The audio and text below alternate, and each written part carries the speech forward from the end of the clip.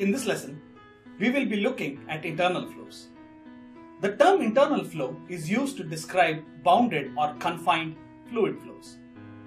From pipelines that transport oil and gas across the world to blood flow within our veins. From the HVAC systems in our homes and offices to cooling ducts in cars and aircraft. Internal fluid flows are ubiquitous. Almost any application that requires the transportation of fluid from one location to another is an internal flow example. Internal flow geometries can vary from being very simple straight ducts to complex network of pipes. Because of being bounded by solid surfaces on all the sides, the shear or the viscous forces arising from the friction between the solid surface and the fluid have a significant impact on the fluid flow. A major difference between the internal and the external flows is because of these viscous forces. In internal flows, the viscous forces affect the entire flow, whereas in an external flow, the viscous forces are confined to the regions very close to the solid object. Further away from the body, the fluid flow can in fact be considered inviscid. For internal flows, viscous forces can be so significant that large pressure differences between the ends of the geometries need to be applied in order to overcome the viscous resistance. Now that we know what internal flows are, let us embark on trying to find analytical solutions to some simple internal flow problems. The first set of flow problems we will consider fall under the category of Couette flows. These flows are named after Couette, who was the first engineer to study the flow between fixed and moving concentric cylinders. There are multiple ways of formulating the Couette flows, but in this lesson, we will look at three important examples. Flow between two parallel moving plates, flow between axially moving concentric cylinders, and finally, flow between rotating concentric cylinders. First, let us consider the 2D fluid flow between two infinite parallel plates separated by a certain distance. Let us assume that these two plates are moving parallel to each other in the same direction but at different velocities. If we also assume that there are no pressure gradients, we derive the following form of continuity and the momentum equations. In plain terms, the continuity equation just indicates that there are no velocity gradients in the x or the axial direction. This means that the velocity is only a function of y. The momentum equation can now be integrated twice with respect to the y coordinate to obtain a linear equation for the velocity. By substituting the boundary conditions shown here, we can easily show that the velocity profile takes the following form. Plotting this equation across the width between the two plates, we see a linear velocity distribution. Since we know that shear stress is directly dependent on the velocity gradients in the flow, the consequence of a linear velocity profile is that the shear stress is constant. In the case of a Couette flow between the parallel moving plates, the shear stress is directly proportional to the difference between the velocities of the two plates and inversely proportional to the distance between the two plates. If we scale the shear stress term appropriately, we obtain a non-dimensional form called the friction coefficient which is dependent only on the Reynolds number of the flow. Let us now look at a different type of Couette flow. Flow between axially moving concentric cylinders. Here we are assuming that the cylinders are not rotating but are just moving axially relative to each other, just like a telescope. Unlike the case of parallel flow between moving plates, here we will assume that only one of the cylinders is moving. If we now impose that there is no radial or azimuthal motion, that is, these two components of velocities are zero, the continuity equation is satisfied and we obtain the following form of the momentum equation. Integrating and identifying the value of the constants through the boundary conditions, we obtain an analytical solution for the velocity field. If we plot this solution, we will notice that the velocity distribution is not a linear profile. It is nonlinear and varies inversely as the ratio of the logarithm of the radii of the two cylinders. Since we know the velocity field, it is straightforward to obtain the shear stresses. We will look at our final Couette flow problem, which has actually a very significant practical importance. Once again, let us consider the flow between concentric cylinders. However, instead of an axial motion, we will now impose a rotational velocity to the cylinders.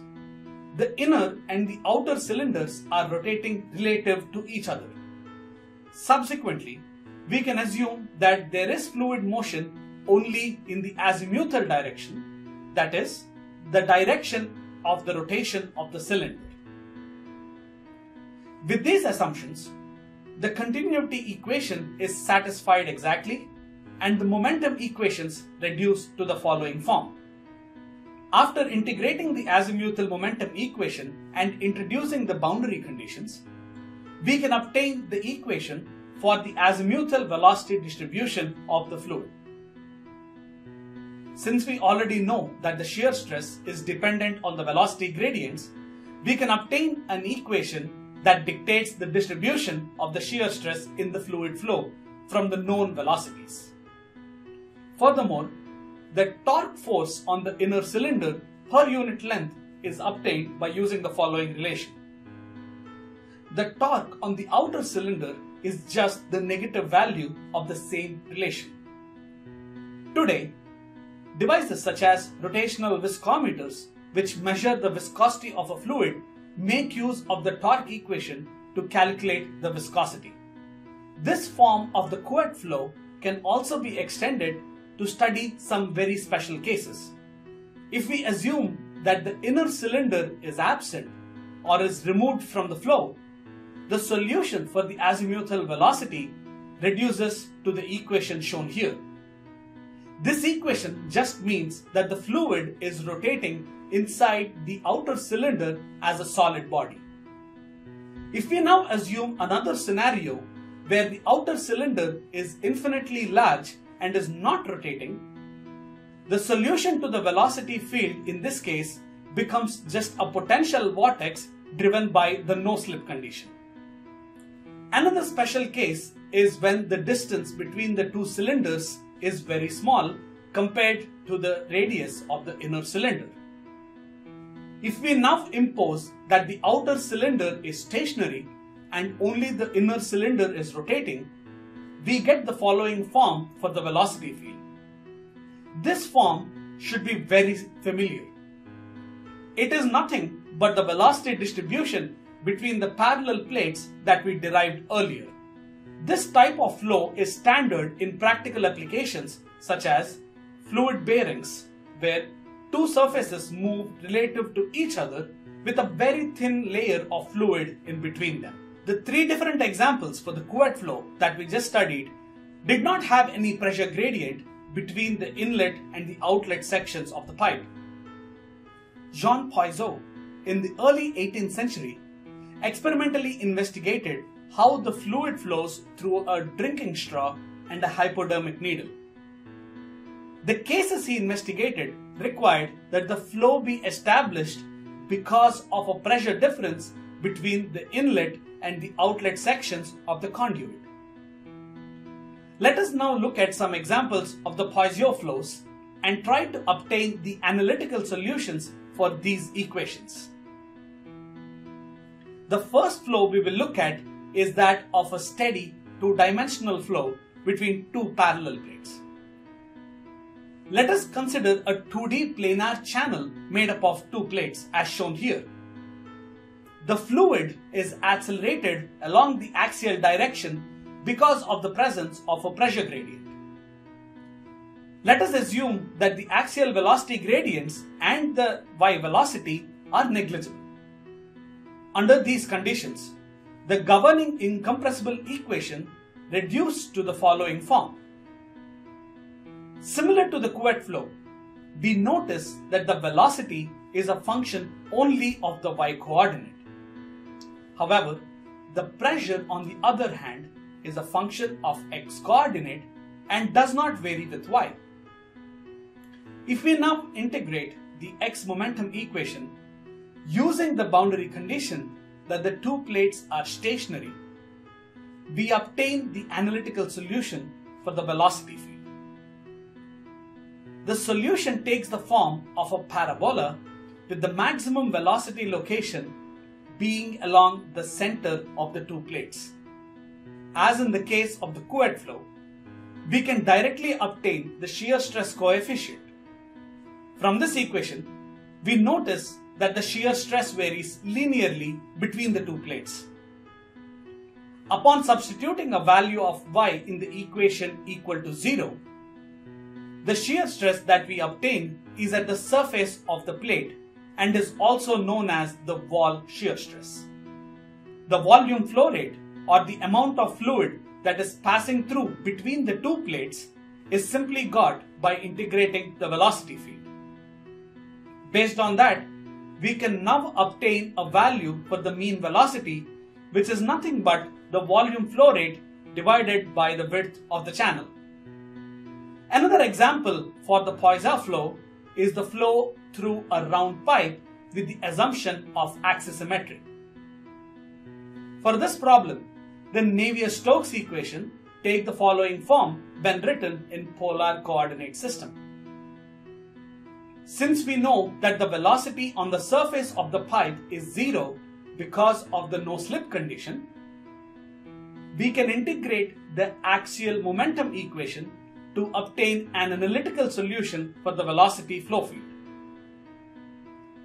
The graph of the solution yields a paraboloid of revolution about the center line and it's called the Poiseuille paraboloid. Similar to the first example of the Poiseuille flow, we also notice that the maximum velocity occurs along the center line of the pipe and is given by the following relation. By integrating the velocity, we can now obtain the volumetric flow rate through the pipe and subsequently the mean velocity of the flow. Rearranging the terms of the mean velocity equation, we can obtain a relation for the axial pressure gradient. Utilizing the velocity gradient and the pressure gradient information, we can calculate the shear stress using the formula as shown here. Based on multiple experiments of fluid flow through a round pipe, an engineer by the name Henry Darcy developed a theoretical relationship between the shear stress and the mean velocity of the flow. He introduced a coefficient called the friction factor, which basically accounts for the frictional losses in the pipe. However, from our theoretical analysis, we have also derived an analytical expression for the shear stress for this flow field. By comparing these two equations, we can get an expression to mathematically evaluate the friction factor. We have only described two examples of the Poiseuille flow. There are multiple other situations where the Poiseuille assumptions can be used to obtain analytical solutions. Let us now take a step back and look at the applicability of the Poiseuille and the Couette flows. Scientists over the years were able to show that analytical solutions obtained for these problems hold true for a wide range of Reynolds numbers.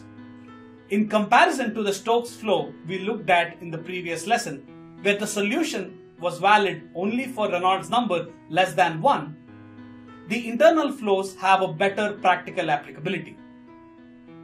For example, These analytical solutions for the internal flows are still being used to develop application for intravenous access and fluid delivery in the medical field.